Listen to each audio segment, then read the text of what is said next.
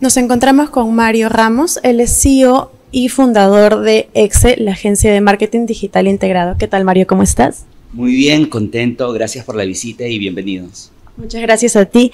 Queríamos preguntarte acerca de, ya es el quinto año consecutivo en el que EXE está creciendo exponencialmente de manera sostenida. ¿Cómo se ha logrado esto después de una crisis global? Eh, habría que entender primero que la agencia este año cumple ya 14 años en el mercado, ¿no? Entonces yo creo que la experiencia y la solidez económica que habíamos tenido en años anteriores, pre-pandemia, como que nos dio cierto colchón y cierta tranquilidad. De hecho, marzo del 2020 fue un tiempo eh, de mucha preocupación y muchos nervios, no solamente para el rubro de agencias de marketing digital, sino para los negocios en general, ¿no? Si hablamos específicamente de rubros como la publicidad, el BTL el, y, y, el ATL se vieron muy afectados. Pero no solamente afectaba el rubro de la publicidad y el marketing, sino que también afectaban los negocios y las empresas. Entonces imagínate tener, tener clientes como gimnasios, cadenas de cines, también hacía complicada la situación para poder sacar esto adelante. ¿no? Yo creo que la experiencia, número uno. Número dos, el portafolio de clientes que teníamos. No paramos con ningún cliente, solamente con uno. El 99.9 de los clientes continuaron en tiempos de pandemia. Algunos clientes, debido a las circunstancias, incluso aumentaron más su presupuesto eh, de inversión publicitaria. Algunos clientes apagaron sus presupuestos de ATL y lo llevaron a digital. Entonces, creería yo que el 2022, a pesar de haber sido un año medio complicado y nervioso, al final terminó siendo bastante positivo para nosotros. Eso creo que fue el primer punto, dada tu pregunta, ¿no? ¿Cómo así crecemos a pesar de, o sea, crecemos cinco años luego de 14 años, ¿no? Eso es número uno. Número dos, el rubro en el que estábamos, el marketing digital. Número dos, el, número tres, el portafolio de clientes que atendíamos que no se vieron afectados todo lo contrario, crecimos mucho en e-commerce en esa época.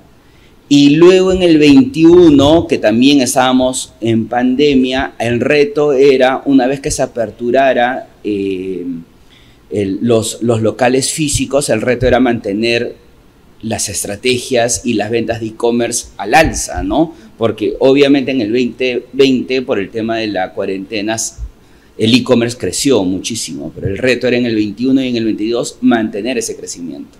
Entonces ahí nos hemos apalancado en el recurso humano. ¿no? La gran ventaja que trajo la, la, pandemia fue que muchas agencias de marketing y publicidad dejaron ir recurso humano muy valioso.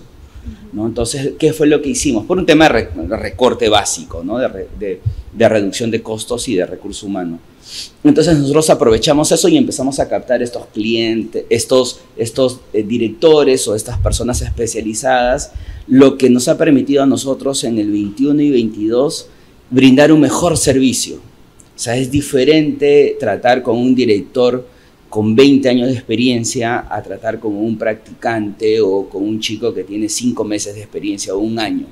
Entonces creo que en ese punto el recurso humano se volvió valioso y fundamental para nosotros.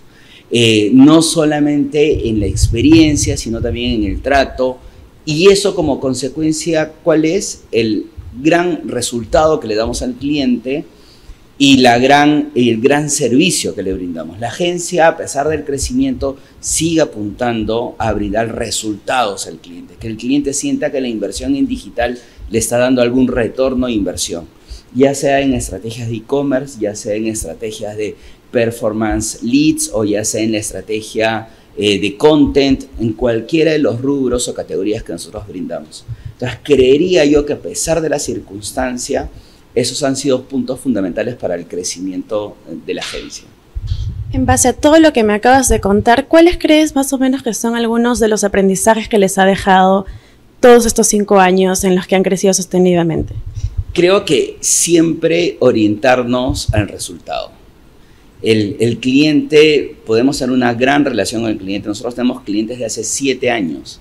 O sea, los hemos visto con, factura, con inversiones en publicidad muy pequeñas y ahora son enormes, ¿no? El 100% de la inversión la desarrollan con nosotros. Pero a pesar de tener una buena relación y de entender, creería que debemos seguir orientados a resultados. y resultados cualitativos y cuantitativos. Una de las exigencias que hay mucho en los, en, los equipos, y, estoy muy contento cada vez que veo reportes mensuales cómo el crecimiento se va dando. Entonces, el aprendizaje, el primer aprendizaje que, puedo eh, observar es seguir mirando al cliente como una, una entidad que busca resultados de parte de su agencia, no problemas.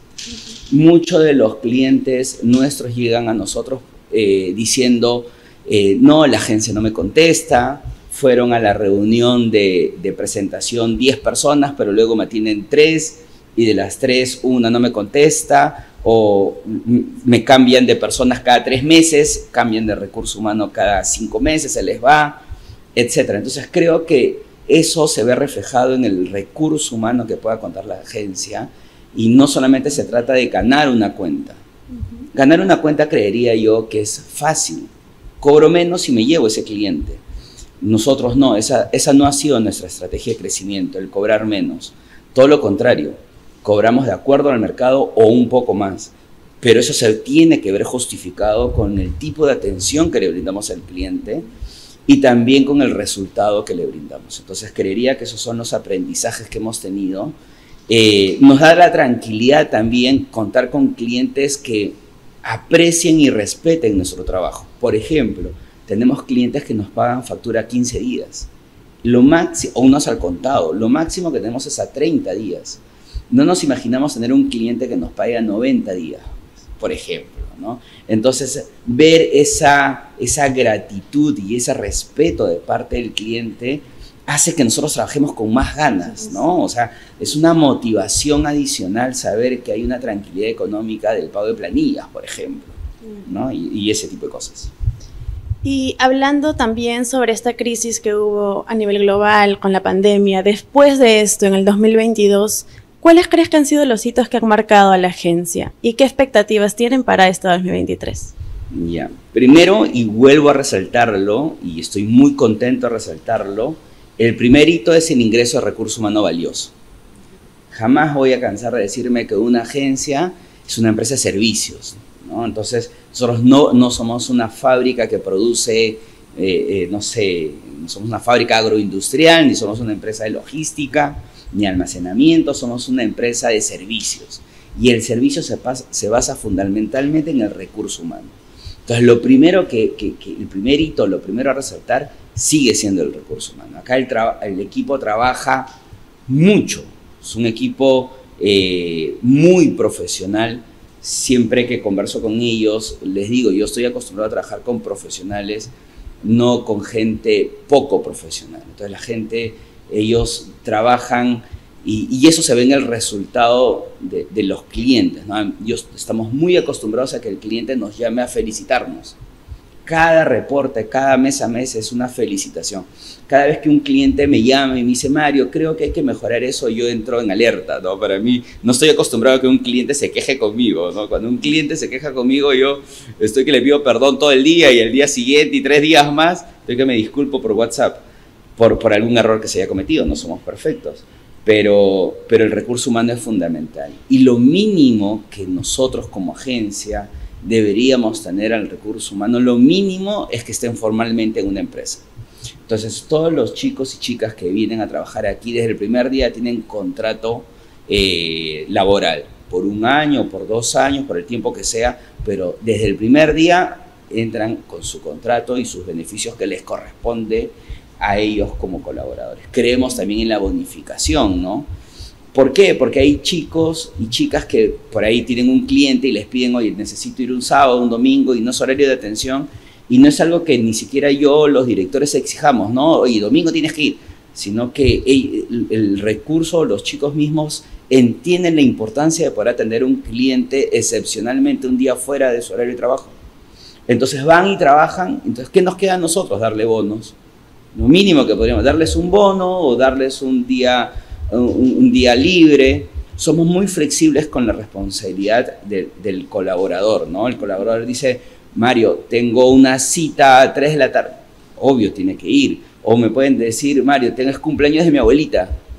¿Puedo salir más temprano? Sí, claro, porque es tan responsable que sería ilógico no darles ese permiso, ¿no?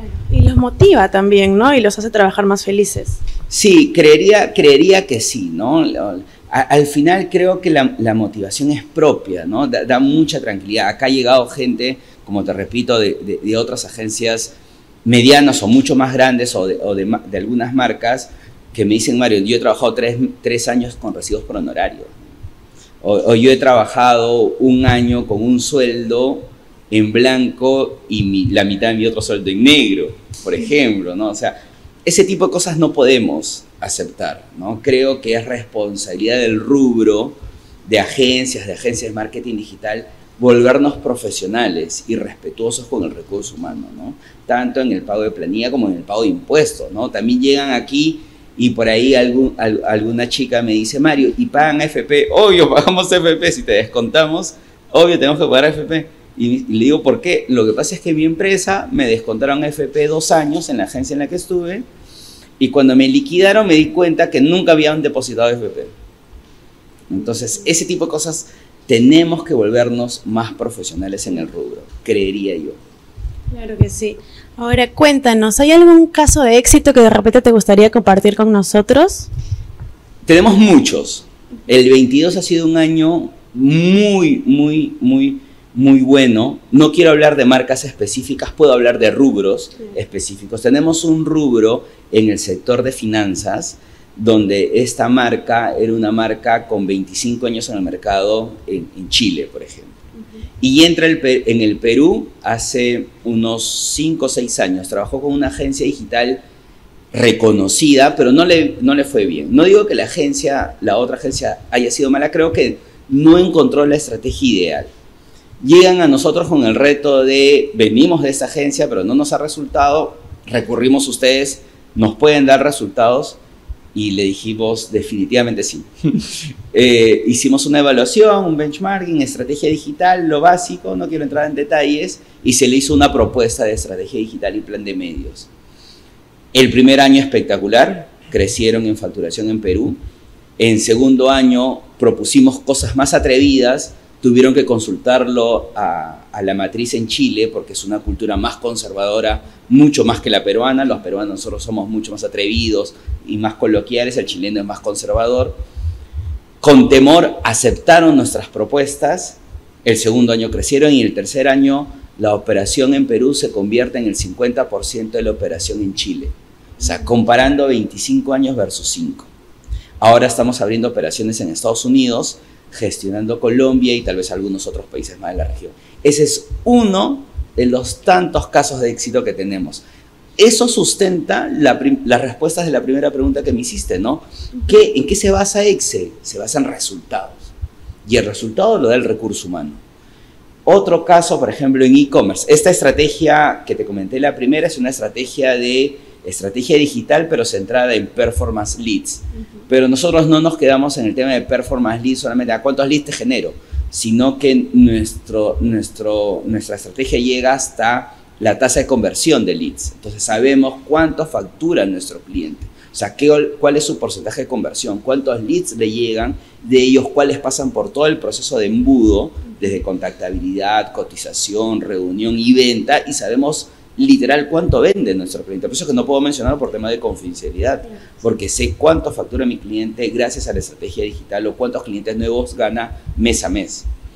Pero en otro caso de éxito, por ejemplo en e-commerce, tenemos un cliente que está con nosotros hace 5 años, 6 años, tuvo la visión de desarrollar e-commerce en el 2018, prepandemia. Llegamos a la pandemia potencializados con una plataforma.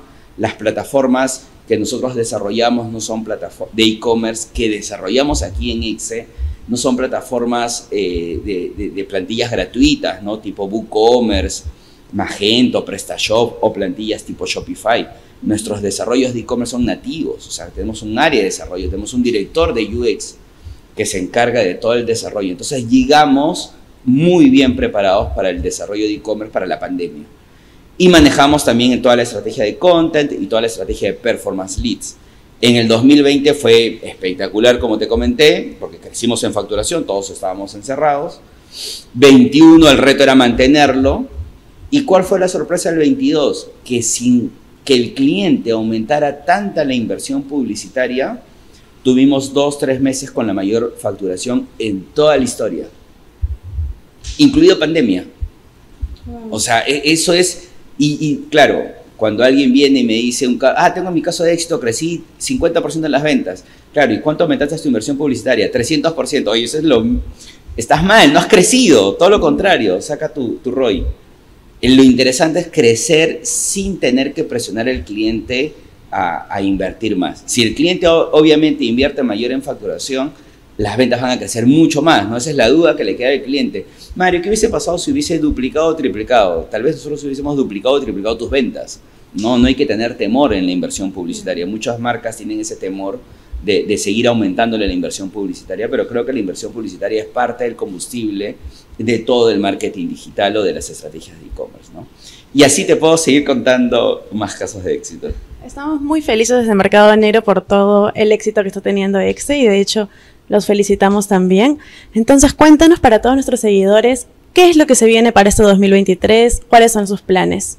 A ver, primero, eh, creería yo que lo que queremos seguir es resultados, seguir orientado a resultados, pero queremos desarrollar estrategias eh, creativas 360. Ya hemos empezado en el 22 de hecho, todas nuestras estrategias digitales tienen un proceso de creativo detrás, ya sea para el desarrollo de una web, ya sea para el desarrollo de un e-commerce, ya sea para estrategias en contenido en social media, ya sea para performance e-commerce, performance leads, cualquier estrategia que hagamos, siempre le metemos creatividad.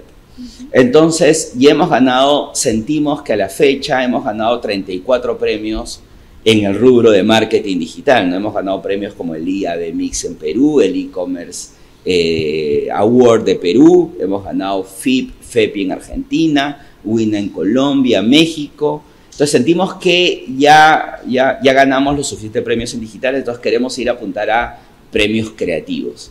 Este año postulamos al EFI con una campaña de uno de nuestros clientes, postulamos al WINA en Dubai en la campaña de uno de nuestros clientes, también. Así que eh, lo primero que queremos hacer es empezar a, a brindar resultados y darle un plus de creatividad.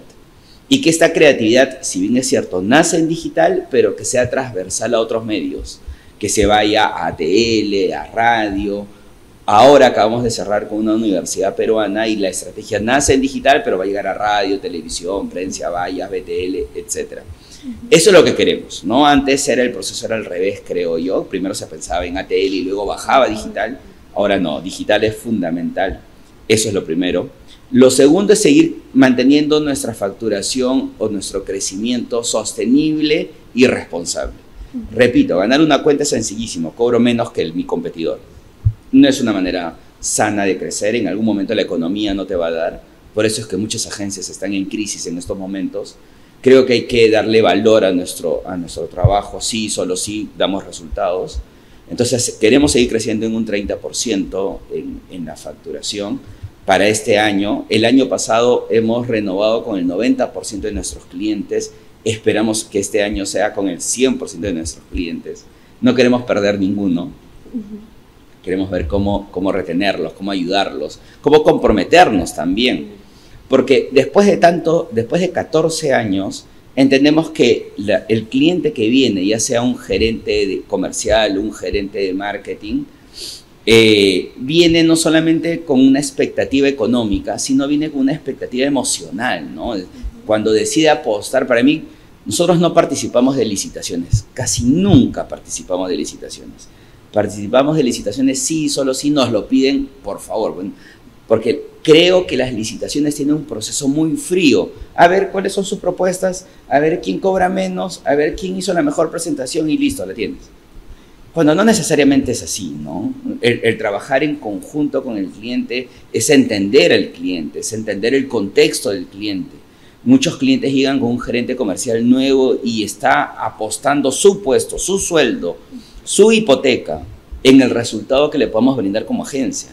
Y eso no se puede transmitir en un pitch, no se puede transmitir en un PowerPoint. Eso se, tiene que transmitir conversando, en el día a día, comunicándonos, ¿no? Entonces, lo siguiente que queremos para el 23 es seguir creciendo y manteniendo nuestros clientes Y lo otro que queremos es seguir contratando recurso humano valioso. ¿no? El proceso de, ingreso acá es el proceso típico de agencia, una evaluación, una prueba y el que haga mejor la prueba entra a trabajar al día siguiente. Así es acá. Entonces queremos seguir captando eh, gente talentosa. Nosotros tenemos operaciones en otros países, pero la central está acá en Perú. El recurso humano sigue siendo peruano. Seguimos creyendo en el recurso humano peruano. Eh, tenemos directores extranjeros, pero el, recurso humano sigue siendo peruano y queremos seguir captando ese tipo de clientes. Y algo que está pasando a raíz, empezó a finales del 22 y continúa en el 23, eh, es no solamente perfeccionarnos como una agencia de marketing digital integrada, ¿no? Esto, no solamente ser expertos en e-commerce, performance e-commerce, performance leads, desarrollo web, desarrollo de intranet, campañas creativas, producción audiovisual, ahora un 360. No solamente queremos tener, no, solamente queremos que el mercado nos conozca como una agencia 360 o una agencia integrada, sino que también el mercado entienda que somos una agencia que al final brindamos asesoría. No nos afanamos por cerrar un contrato, nos afanamos por asesorar correctamente al cliente. ¿no? Y no solamente al cliente, nos está pasando ahora último que vienen muchos emprendedores o muchas agencias digitales pequeñitas que, oye Mario, ¿cómo hacemos esto? ¿Cómo han hecho esto? Tengo tres años, me acaba de llegar un cliente enorme, ¿cómo hago? O a veces llegan agencias pequeñitas, acabamos de comprar una agencia, por ejemplo, y, otra agencia viene y Mario, el cliente es muy grande, no lo puedo atender yo, necesito que lo maneje EXE.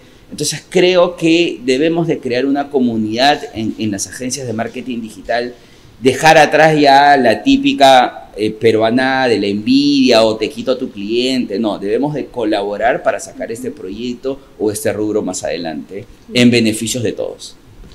Muchas gracias, Mario. Gracias a ustedes por la visita.